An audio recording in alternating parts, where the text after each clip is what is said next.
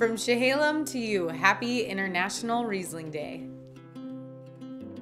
Riesling has been one of the main staples at Chehalem Winery since the beginning. Our Rieslings that we make are really balanced.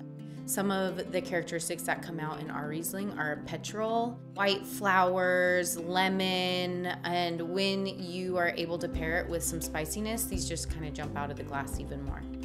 I feel like I am still pleasantly surprised every time I open a bottle of Riesling.